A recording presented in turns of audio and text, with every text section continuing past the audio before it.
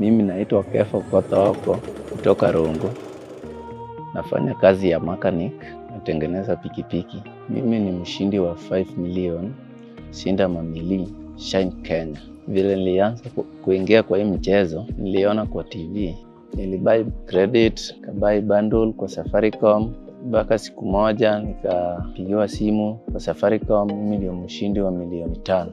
After kuconfirm hii pesa ni ukweli, nilifikiria kufanya biashara yangu ya hii ya makani nifungulie bibi duka, nijenge nyumba. Hiyo ndio ilikuja kwa akili yangu. Today we celebrate uh, not just a single winner, uh, who of course is important, the main uh, grand winner, but the impact of the campaign that has touched millions of lives in every corner of the country. Hii 1 million ya community nitasaidia Kitere Primary kujenga nil floor, tawawekea desk.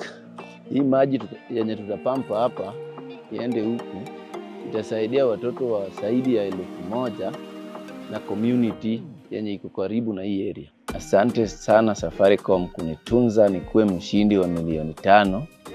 Nashukuru kabisa.